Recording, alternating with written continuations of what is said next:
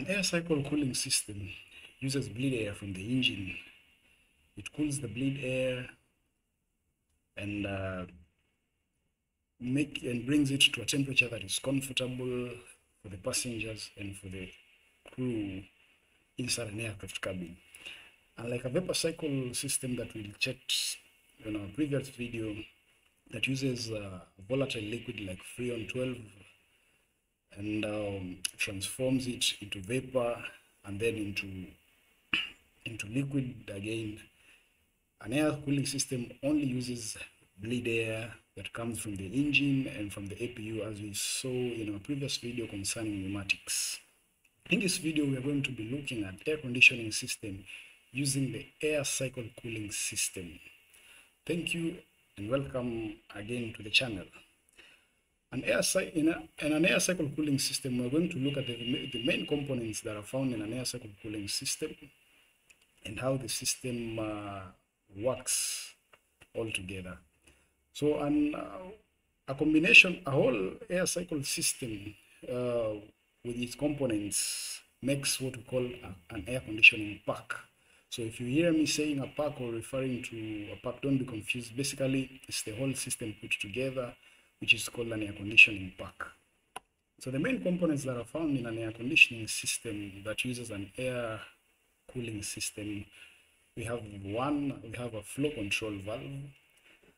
A flow control valve uh, controls the flow of bleed air from the engine to the air conditioning pack.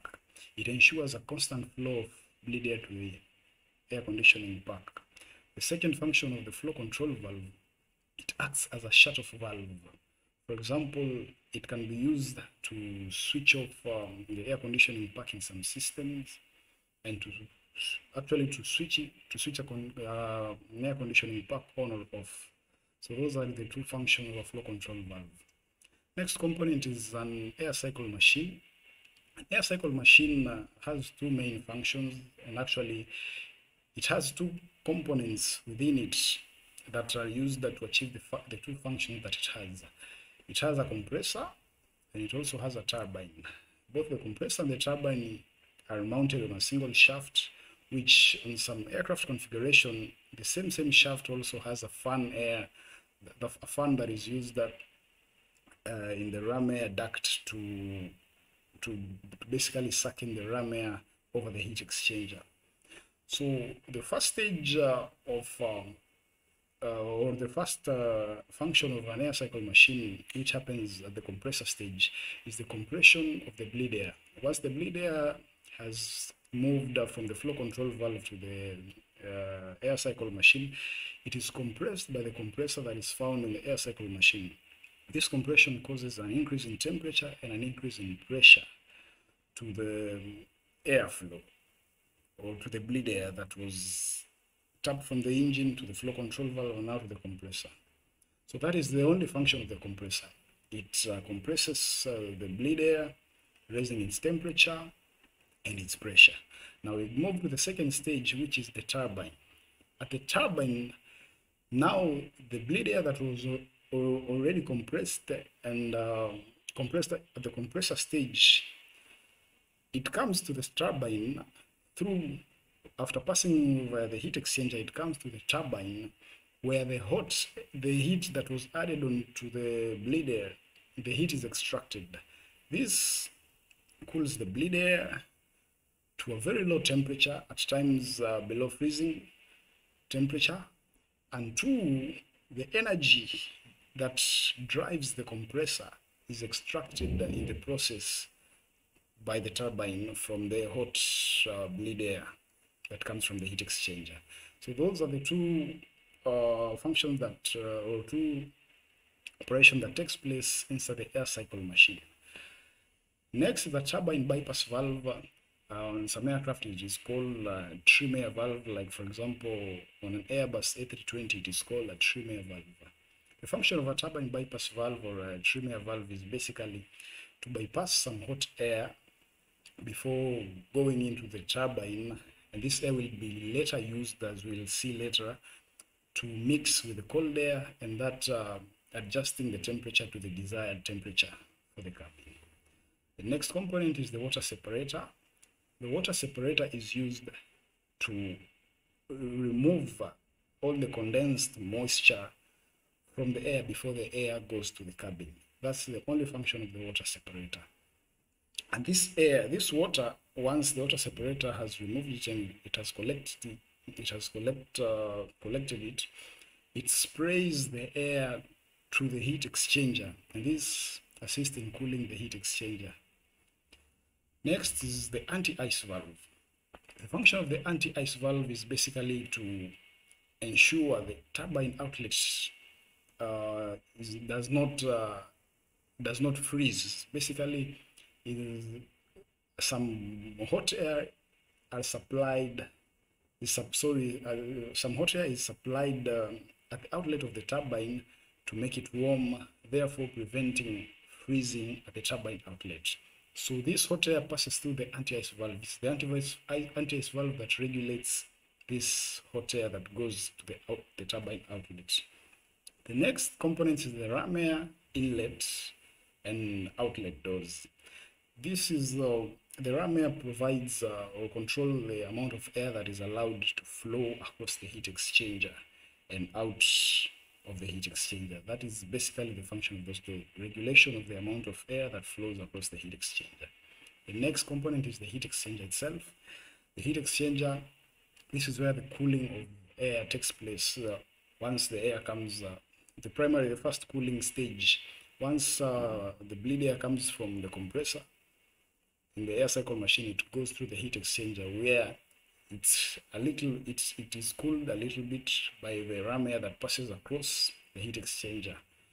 That is that is um, cooling the uh, air that is inside the heat exchanger using the ram air that passes across the heat exchanger.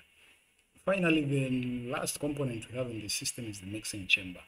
The function of the mixing chamber this is uh, this is the place where the hot air that was bypassed uh, that was bypassed uh, and uh, the air that was bypassed at the turbine bypass valve and the air that comes from the turbine outlet is mixed to the desired temperature for the cabin. We're going to look at a diagram which is a basic system with all these components. As you can see, this is our diagram.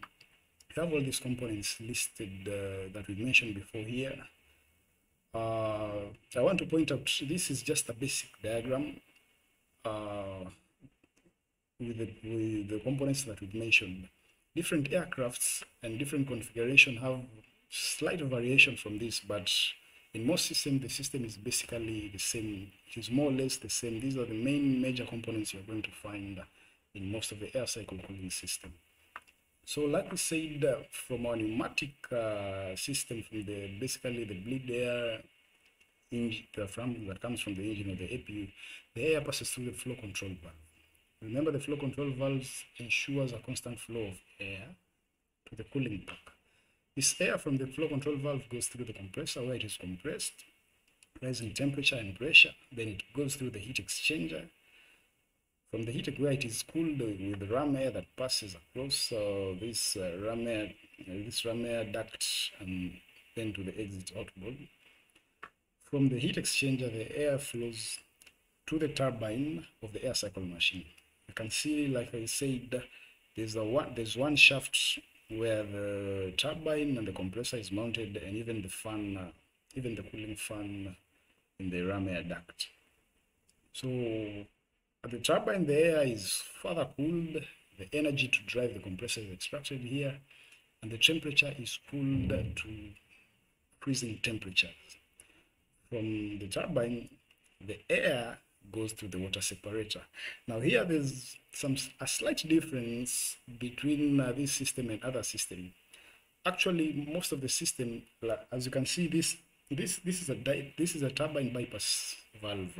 Remember I told you some air is bypassed, does not go through the turbine.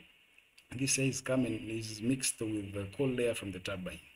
But in other system, this takes place inside the mixing chamber. It is not done here. You can see this diagram shows the mixing chamber is beyond this point. But in most, most system, the mixing of the turbine bypass valve and the turbine outlet air the, uh, the turbine bypass valve air, the air that was bypassed, and the turbine outlet air is mixed in the mixing chamber.